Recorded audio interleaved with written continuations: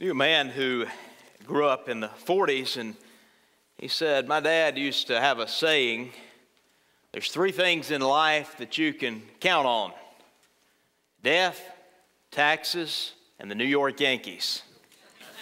that was back when uh, they were winning just about every World Series. And you can't really count on the New York Yankees anymore, but you can still count on death and taxes. It's always been that way. Jesus said that much 2,000 years ago. This morning, I want you to find with me, with me in your Bibles Mark chapter 12. Mark chapter 12 and verse 13. We're going to look at three different questions, and I know that you're probably going to be thinking this morning as we work our way through this text that what on earth do these three topics have to do with one another? You're just preaching three different sermons, but what I'm looking at this morning, these three questions are taken as a unit. We can see that from the very first question to the very last phrase where it says that no one dared to ask him any more questions. And it shows that Jesus has complete authority to answer every question that you have in your life. There's not one question that we can't bring to him. He has the ultimate authority to answer all of life's most difficult questions, questions about life and questions of death, but ultimately that Jesus Christ himself is the answer to all of life's questions. Now, look with me here. Mark chapter 12, verse 13. The Bible says, Then they sent to him some of the Pharisees and the Herodians to catch him in his words. When they had come, they said to him, Teacher, we know that you're true and that you care about no one, for you do not regard the person of men, but teach the way of God in truth. Is it lawful to pay taxes to Caesar or not? Shall we pay or shall we not pay? But he, knowing their hypocrisy, said to them, Why do you test me? Bring me a denarius that I may see it.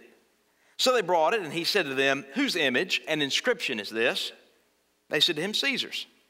And Jesus answered and said to them, Render to Caesar the things that are Caesar's, and to God the things that are God's. And they marveled at him. Jesus first addresses the question of paying the authorities, and that's exactly what he tells us that we must pay the authorities. Uh, we read here that the Pharisees and the Herodians come together. Now, this is an unlikely pair. They are usually enemies. They had very different political agendas, but they come together for a bipartisan attack on Christ. And they uh, come to ask him this question, to set a trap, if you will, for Jesus. And the trap is clearly laid like a steel trap that an animal might step into, and then they cover it up so that he won't see it. They try to cover it up with the flowers of flattery. Oh, we know that you have no regard for the opinions of people, that you don't look at the weather vane to see which way the wind is blowing before you answer a difficult question, that you just speak the truth of God from God. And so, after trying to set him up, to get him to give an unfiltered response, they ask him this question, which is a very, very controversial question Should we pay taxes to Caesar or should we not? Now, to give you a little bit of background on this, this taxation of Judea had begun in 86. And under Herod Archelaus, the Romans had begun to tax the Judean province, and it had caused a revolt when they instituted the tax. And it would also, 33 years after Jesus says these words, spark another revolt against Rome. So this is a very controversial question. And it really, they're trying to set him up to give one of two answers. Either you pay taxes or you shouldn't pay taxes. And either way, it's going to be bad for Jesus. Because if he says that you should pay taxes, then all of the Jewish zealous followers who are very nationalistic for their independence are going to get mad at him. If he says that uh, you should not pay them, then the Romans are going to come and charge him with sedition. So, either way, it's a bad scenario. It'd be kind of like if uh, you came up this morning and said, Pastor David, I want you to get up and speak this morning about the results of the 2020 election. I, you understand that there's nothing that I could say that wouldn't get me in trouble. I, I mean, if I said that Joe Biden beat uh, Trump, then, then uh, some of you would be furious. If I said that there was election fraud, some people would get furious. So, so regardless of however you answer that question, you're going to make some people very angry. And that's exactly what they're trying to do to Jesus. Except the consequences are more severe. And on top of that, there's also a theological implication besides just a patriotism issue. Because on the coin, you know, Jesus, he doesn't just respond to an answer to the question. He asks the question. He first of all, he understands it's a trap. He understands what they're doing. And he says, Bring me a denarius. Now, he knew whose picture was on that coin just as much as I know whose image is on a quarter or whose picture is on a $20 bill. He didn't need to look at it to figure that out. But he's really, I think, doing several things here. He's giving an opportunity to kind of for the anticipation of his answer, but also, guess what? These guys that are saying it's so bad to carry around these Roman coins and it's so bad to pay taxes, they got one in their pocket. And so they have more complicity in this taxation system than they would like to say. But they bring it there, and when they pull out the coin, you, know that Tiberius Caesar, his image, his inscription is on the coin. And that inscription said, Tiberius Caesar Augustus, son of, uh, August, uh, son of the divine Augustus. Now, on the opposite side of the coin, it had a picture of Tiberius' mother, and it said the words Pontifex Maximus, or high priest. And so there's clear calling Augustus divine, referring to the high priest as the, the Roman uh, family. It was very clearly a theological issue as well as a social and political issue. But after looking at that particular coin, Jesus asked a brilliant question. And again, he already knows the answer. Whose image and inscription is this? And, the answer is it's, it's Caesar's. And he says, in essence, if I can paraphrase exactly what he's saying, then give to Caesar the things that have the inscription and the image of Caesar upon them, and give to God the things that have the image of God upon them. God is telling, Jesus is telling us that we must give God our lives. Now, as I was looking and studying this passage, I'd planned to preach all of this as three questions, this entire section that we're going to be looking at this morning.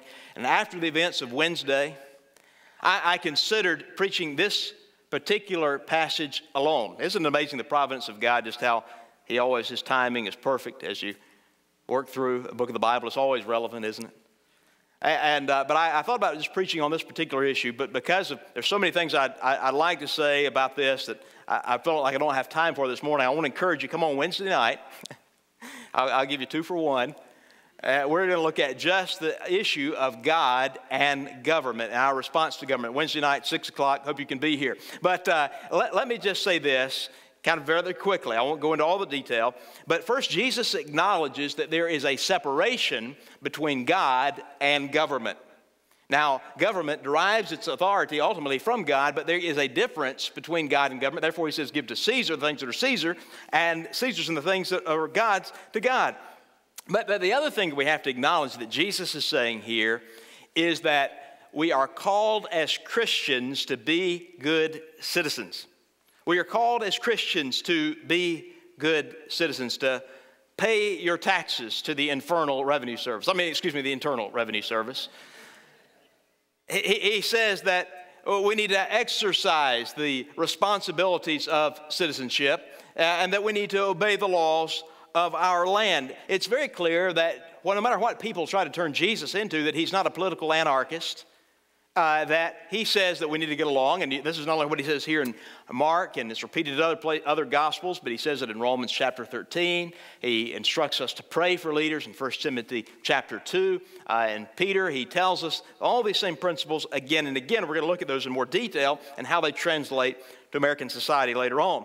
But what Jesus says first and foremost, and this is what I don't want you to miss, he's not speaking so much here about government, but about God.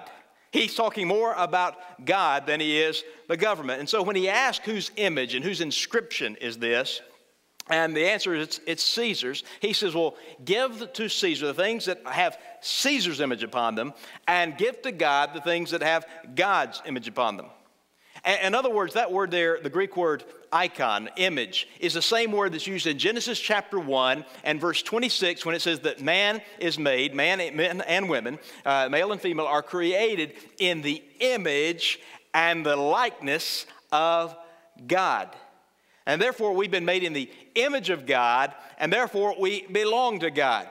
I heard someone say this week something I thought, well, that's a, that's a great way to say it. He said, Man is not made, excuse me, God is not made in the imagination of men, but men are made in the image of God. You understand what he's saying there? That, we, that God is not the creation of human beings. That we have not created a God to our own likeness but rather that we are made in His image. And that means that God has authority over your life. What you do, your morality, your decisions, the direction of your life has to be determined by God, not by yourself. And, and there are responsibilities we have politically. Uh, we have responsibilities as citizens of the United States and to the government under which we're under its authority. But Jesus is making very clear that while we are to give our taxes to the government, we are to give the totality of our lives to God. And, we owe Him all things. Government, we owe some things, but we don't owe Him every, owe it everything, but we owe God everything that we are. Now, Jesus cares about your citizenship in an earthly country but more importantly, He cares about your citizenship in an eternal city. And God wants you to be a good citizen, uh, both here below as well as the citizen there above. And, and the one thing I want to say, without going too much into detail on this, is saying this is that we must identify that Jesus, while He calls us to be good citizens of our countries, that we have to also separate our allegiance to government from our allegiance to God to some extent. I, I believe one of the great dangers that faces many people is they try to take their political, their politics and, and the policies of a particular party and they wrap them up so closely in their Christianity that they can't see the difference between the two. And, and you have to be able to distinguish yourself and say, first and foremost, I am a Christian. Jesus said it like this in John 18 My kingdom is not of this world. If it were so, my servants would fight, that I should not be delivered to the Jews. But now my kingdom is not from here. Folks, where is your citizenship? Is your citizenship in heaven? I hope it is. And this morning, while you are to pay the authorities, you're not to give them everything. You're to give God everything. And this morning, I hope that in April you're going to render your taxes. I've got a here actually in just a few days, and uh, the 15th of January, I, I, have to file for tax purposes. I'm self employed. Maybe some of you are as well. And I've got to pay taxes, fourth quarter 2020 taxes on January the 15th. I've got to render to Caesar this week. The more important question for you is this week are you rendering your life to God? Are you giving your life completely and fully to the Lord Jesus Christ? Well, he talks about paying the authorities, but also he speaks about preparing for the afterlife. Notice there in verse 18. Then some of the Sadducees, who say there is no resurrection, came to him and they asked him, saying, Teacher, Moses wrote to us that if a man's brother dies and leaves his wife behind and leaves no children, his brother should take his wife, raise up offspring, and raise up offspring for his brother. Now there were seven brothers. The first took a wife, and dying, he left no offspring. And the second took her, and he died, and nor did he leave any offspring and the third likewise. So the seven had her and left no offspring. Last of all, the woman died also. Therefore, in the resurrection, when they rise, whose wife will she be? For all seven had her as wife. And Jesus answered and said to them, Are you not therefore mistaken? Because you do not know the scriptures nor the power of God. For when they rise from the dead, they will neither marry nor be given in marriage, but they are like the angels in heaven. But concerning the dead, they, they, that they rise, have you not read in the book of Moses, in the burning bush passage, how God spoke to him, saying, I am the God of Abraham, the God of Isaac, and the God of Jacob? He is not the God of the dead, but the God of the living. You are therefore greatly mistaken. Now, this is the only time in Mark's gospel that the word Sadducees is used. We usually don't find Jesus interacting with the Sadducees because they were pretty much local to Jerusalem. And Jesus, has, Mark has spent the majority of his time focusing on Jesus' Galilean ministry. Now, they're going to be present again at the trial of Jesus because they, many of them made up the uh, group called the Sanhedrin that you'll read about at Jesus' trial. But to give you a little bit of the understanding of what was taking place in Israel that time, first century politics, is there were two main groups, kind of like we have Democrats and Republicans. They had eh, they were political and religious parties, but they had Pharisees, which were the right wing conservative group, and they had the Sadducees, which were the liberals, if you will.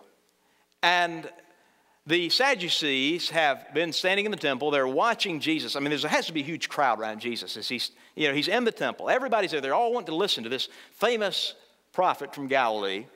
And the Pharisees ask their question and they get stumped.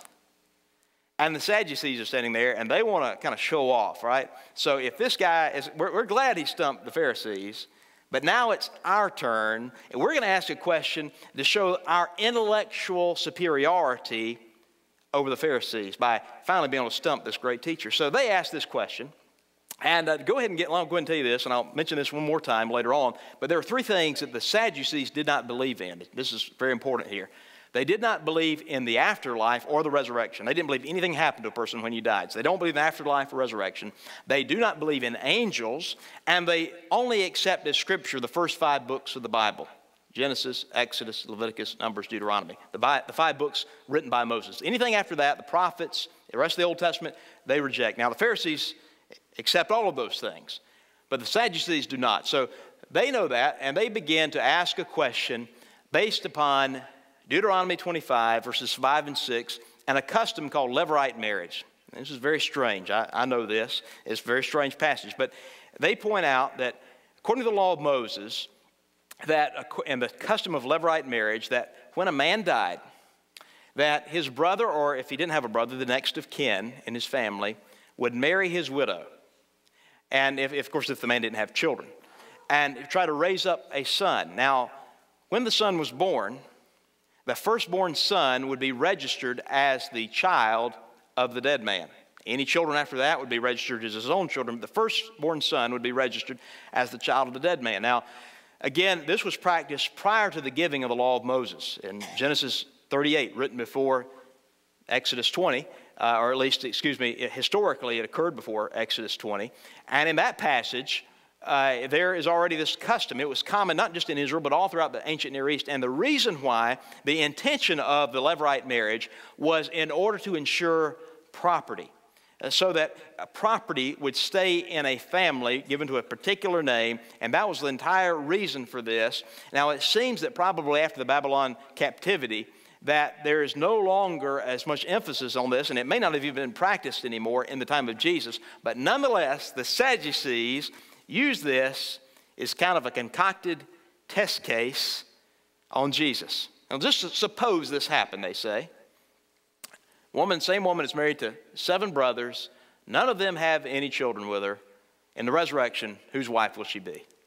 Now, Jesus, they think, is going to take one of two courses. They think, on the one, that he's going to have to make a very strange argument that either she will be the wife of the first husband or the last husband. Or, the more, the easier assumption is that there is no resurrection. Uh, they haven't even thought about the possibility of there being no marriage in heaven, but they begin with this. They think that they've set Jesus up and they wait for his response. Now, Jesus humiliates them. He begins in verse 24 by saying, You are greatly mistaken. Now, that word mistaken here, the, Greek word here is planeo. It's the Greek verb uh, to, to wonder. Now, that word comes from the Greek word planan, which we get our English word planet. And for the ancients, when they looked up at the night sky, they realized that the stars always kind of seemed to be in a fixed pattern, but in reference to the stars, the planets would wander. Uh, they seem to be off track. And so, in other words, Jesus is looking at them and he's saying, Hey, guess what, guys? You're way off track here. You're completely out of alignment. And the reason that you're out of alignment is, first of all, you have zero understanding of the scriptures. Now, realize that Jesus is saying this to the most astute Bible scholars in Israel. I mean, this is the cream of the crop. This is the Ivy League.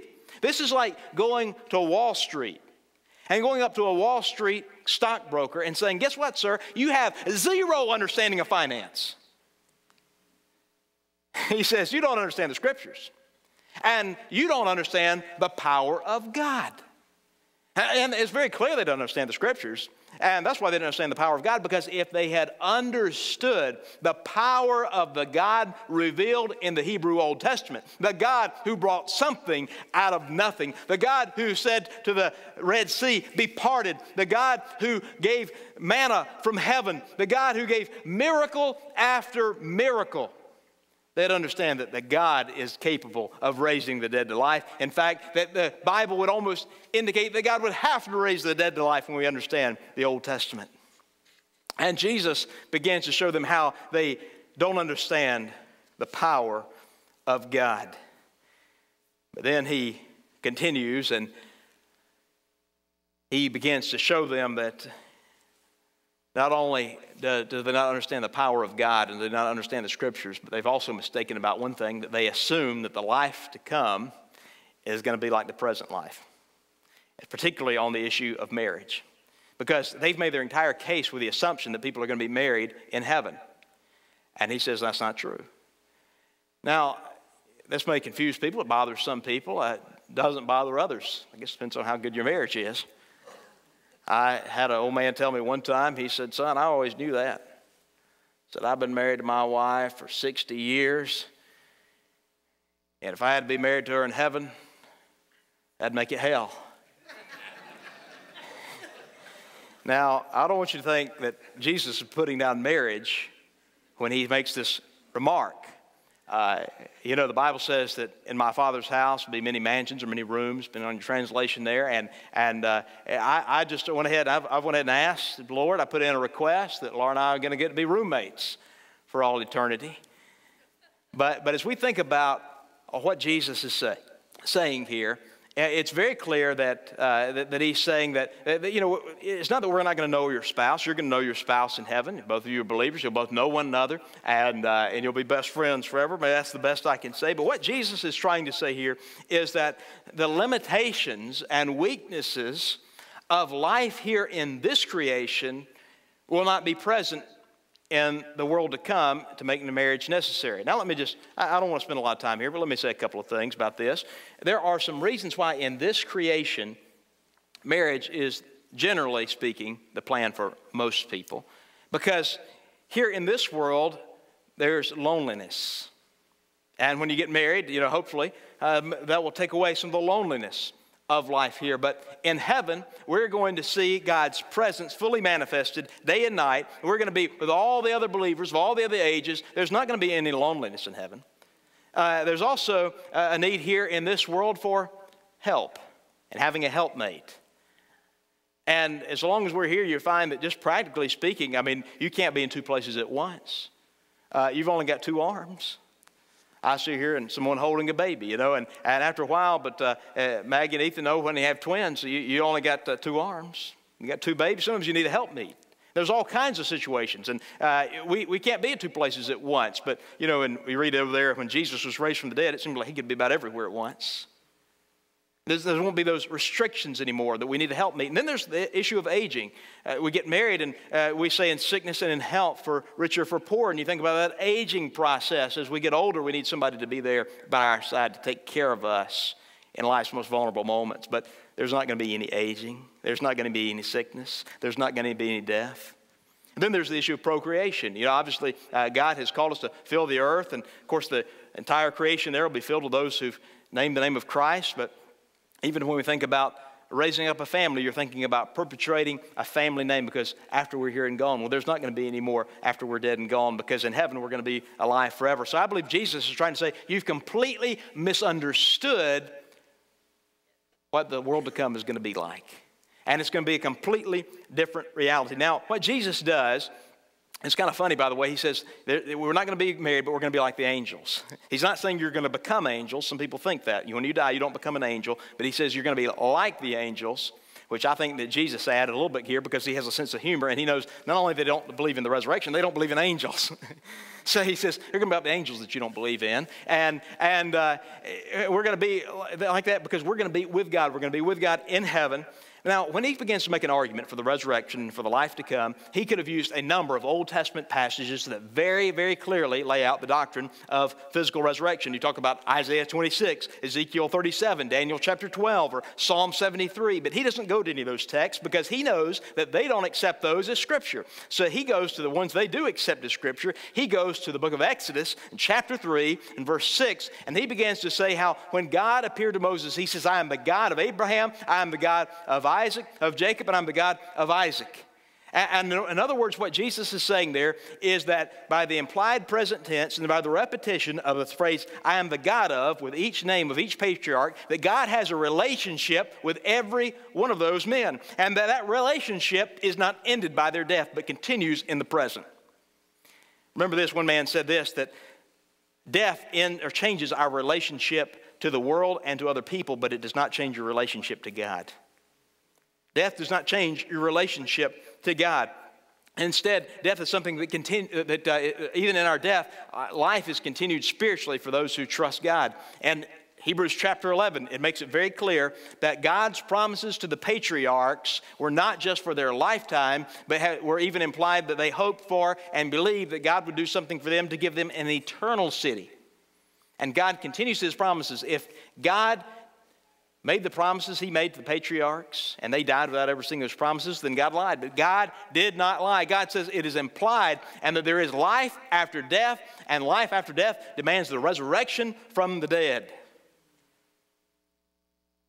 He makes it very clear that there is life to come, that he will raise the dead in Christ.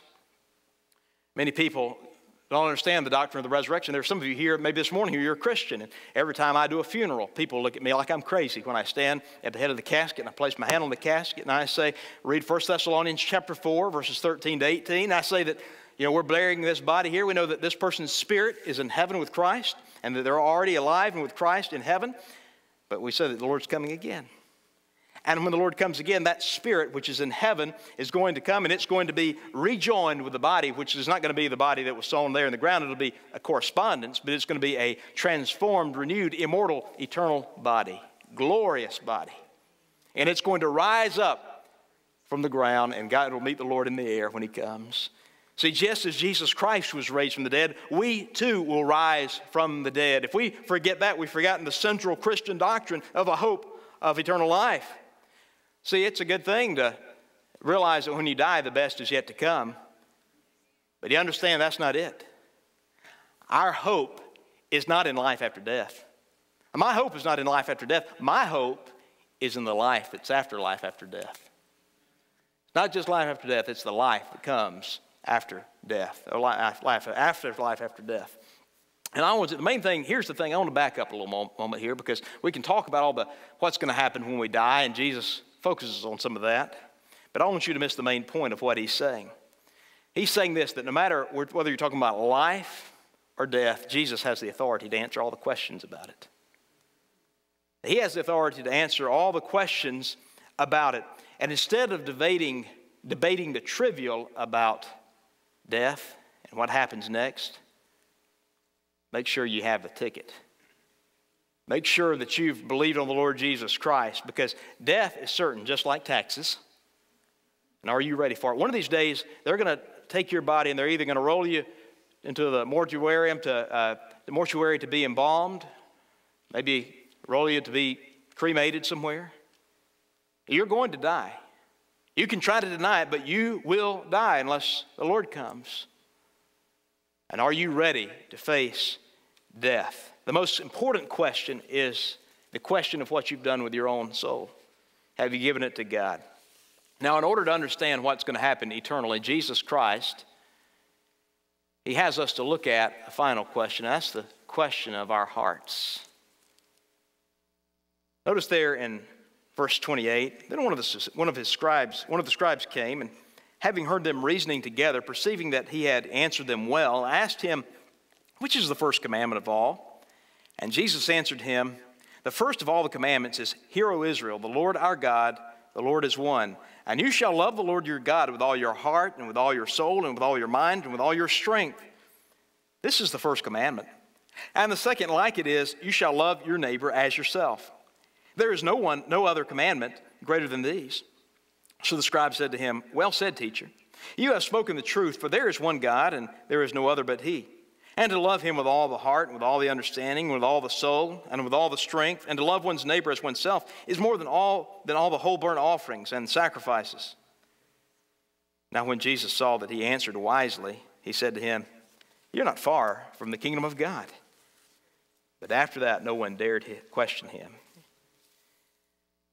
Now, Mark depicts this scribe as a little more genuine than the others who've come to question Jesus. Apparently, a scribe decides to step out from the crowd a bit, and he hears that Jesus answers wisely. So he has a question, and he's not asking for any ulterior motive. He just wants to know what is the first commandment. Now, he doesn't mean chronologically. There were 613 commandments in the Torah. But he doesn't want to know which one comes first, but he wants to know which is the weightiest, which one is the greatest. And we've got all kinds of questions about greatest. Uh, who, who's the greatest basketball player? Who's the greatest quarterback? Come up recently. We have all these kinds of questions about who's the greatest, but he says, which is the greatest commandment? And Jesus quotes through scriptures, but he really focuses and, and hones in there's two that are the greatest, and he really sees them almost as one. He almost joins Deuteronomy chapter 10 and Leviticus 19 here together, and he says, You shall love the Lord your God with all your heart, with all your soul, with all your mind, and with all your strength. In other words, he's saying you have to love God with every resource of your being. Jesus is talking about paying the authorities. He's talking about preparing for the afterlife, but now he focuses on this prioritizing of your affection, your love for God. That really determines whether or not you are a true believer. We love God with every resource of our being. The heart that he speaks of here is the emotions. He's saying, Do you love God with your emotions? Then he speaks about the soul, which is our spiritual life and self consciousness. Then he talks about the mind, which is our thought life, our intellect. The strength refers to, I believe, all the ability or the power, even bodily, that we have. And what he's telling us is that we have to give ourselves completely to God. Now, a lot of people get this wrong. They think that their relationship with God is based upon their rituals. I come to church, I've been baptized, I, I, I vote for Christian values, they, they think it's about resolutions. I'm going to decide this year that I'm going to give up drinking or smoking or uh, give up uh, uh, whatever bad thing it may be. there, there's some people that think it's about good deeds. I'm just going to try a little harder. I'm going to give a little more money. I'm going to uh, try to hand out a few more sack lunches. But he says it's not about resolutions. It's not about rituals. It's not about good deeds. It's about a relationship with God, loving God from every aspect, every ounce, every fiber of your being. That's what it means to have a relationship with God. It's not just something that you can profess, it's something that you're going to practice. Now, don't get me wrong, you're not saved by works. But if you genuinely profess, you will practice your feet will take you where your mouth has said it will go. What he says is that here's, here's a real practical way to see if you really love God with every source of your being, because that's a vertical relationship, but he says we're also going to have a horizontal relationship. You're going to love your neighbor as yourself. If you say you love God, it will be evident in the way that you treat other people. First John chapter 4 tells us that if we say we love God and despise or mistreat our brothers sisters in Christ, that we're liar. Sinclair Ferguson put it like this God is never satisfied with anything less than the devotion of our whole life for the whole duration of our lives. I think that's very well said.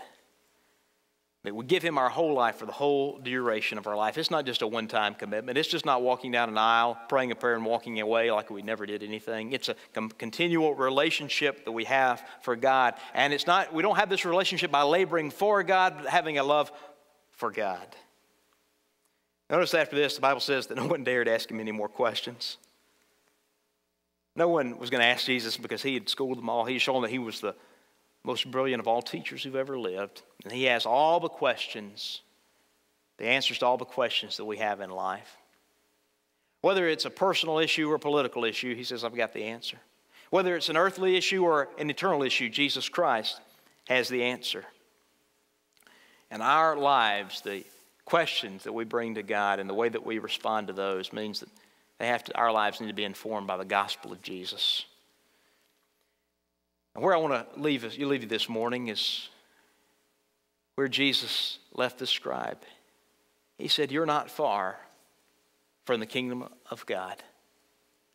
You're not far from the kingdom of God. He was saying that you're spiritually near the kingdom of God, which is the rule of God in your life. You know, you've almost turned your life over to the rule of God. He says you're close. But in that, in that statement, this implies that you've not come far enough. You've, you've gotten very close. You, you've got the right understanding. But there needs to be a commitment. So he had to go further and realize that the one who had brought the kingdom was standing there right in front of him.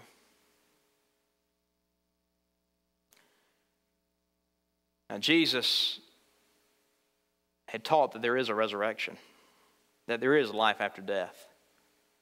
But you can believe in the future resurrection, you can believe in the resurrection of Jesus, but until you understand that He is the resurrection and the life, and that you've entrusted yourself into that relationship with Him, you're still going to be outside the kingdom of heaven. You, you can have the right view of politics, you, you can vote the right way on the right issues and understand what's happening politically. But that doesn't mean you're a Christian. You, you can have the right doctrine, but be lost and without God. You can be able to recite Bible verses like this scribe, but you might be lost and on your way to hell. And just because you're in the church this morning doesn't mean you're in the kingdom. Can I say that one more time? Just because you're in the church this morning does not mean that you're in the kingdom of God. The question is, is how far are you from the kingdom this morning? I've got some good news and I got some bad news. The good news is no matter how far away you are, you can come into the kingdom this morning. Here's the bad news, though no matter how close you are, if you don't make a decision to move into the kingdom, you'll always be outside the kingdom. You, you can be right there at the one yard line and fail to get in. I'm reminded of that story over in the book of Exodus about the bronze serpent. And Moses lifted that serpent up on a pole.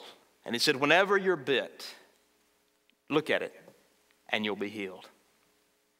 There were probably some people there who were bit by, that, by those serpents, who were just inside the camp, maybe even just in the shadow of that serpent. And they had to look up and they were healed.